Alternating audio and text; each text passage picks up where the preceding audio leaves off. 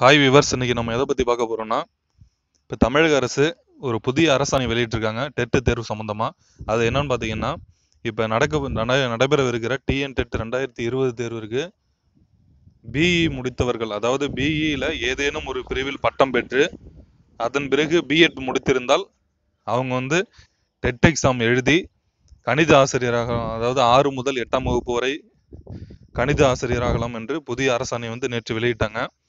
இது எப்பன்னு பார்த்தீங்கன்னா ரெண்டாயிரத்தி பதினஞ்சு டு பதினாறு முதன் முதலாக பிஇ முடித்தவங்களை வந்து பிஎட் நீங்கள் பண்ணலாம்னு சொல்லிட்டு ஓவராலாக பிஎட் சீட்டில் வந்து இருபது சதவீதம் ஒதுக்கி அவங்களுக்குன்னு தனியாக ஒதுக்கி அப்போ அரசாணை வெளியிட்டிருந்தாங்க.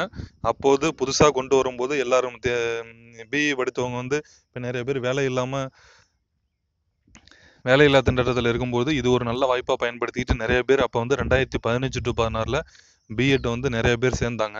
அதன் பிறகு பார்த்தீங்கன்னா ரெண்டாயிரத்தி பதினேழில் நடந்த டெட்டில் வந்து இவங்களுக்கு எக்ஸாம் எழுதலான்னு சொல்லி எதுவுமே கொடுக்கவே இல்லை. ரெண்டாயிரத்தி பத்தொம்போதுலையும் கொடுக்கல. இதனிடையே பார்த்தீங்கன்னா அந்த சீட் வந்து இருபது சதவீதமாக இருந்தது வந்து பத்து சதவீதமாக வந்து குறைச்சிட்டாங்க. இருபது சதவீதமாக இருந்தது பத்து சதவீதமாக குறைக்கும் போது அவங்களுடைய இதில் படிப்பில் வந்து அதாவது பிஇ முடித்தவர்கள் பிஎட் படிக்கிற ஆர்வம் வந்து சுத்தமாக குறைஞ்சிருச்சு. அதனால இது வந்து இப்போ அரசுக்கு போ- போகும்போது அவங்க வந்து இந்த தேர்வு ரெண்டாயிரத்தி இருபது டெட்டில் வந்து பிஇ ஏதேனும் ஒரு பிரிவில் பட்டம் பெற்று பிஎட் முடித்திருந்தால் கணித ஆசிரியர் ஆகலாம்னு சொல்லியிருக்காங்க. இதுவே மீ இன்னும் வந்து பார்த்தீங்கன்னா ஃபிசிக்ஸ் கெமிஸ்ட்ரி கம்ப்யூட்டர் சயின்ஸும் ஏற்கனவே பிஎட்ல படிக்கலாம்னு சொல்லியிருந்தாங்க. அதுக்கு படிச்சவங்களுக்கு இன்னும் சொல்லாத தொட்டு அதுவுமே அவங்க வந்து குழம்பு குழப்ப நிலையில் இருக்காங்க.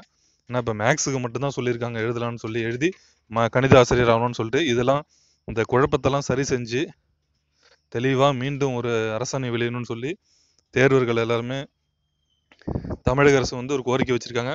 இதனிடையே பார்த்தீங்கன்னா இந்த ரெண்டாயிரத்தி இருபது இப்போ டிஎன்டெட் ரெண்டாயிரத்தி இருபதில் இப்போ மற்ற காம்படிஷன் மற்ற காம்படிட்டிவ்ஸ் கூட பிஇ முடிச்சவங்களும் எழுத போகிறாங்க சரிங்களா? எழுதி தேர்ச்சி பெற்றாங்கன்னா அவங்களும் ஆறு டு எட்டு வரைக்கும் கணித ஆசிரியர் ஆகலாம்ங்கிறதான்.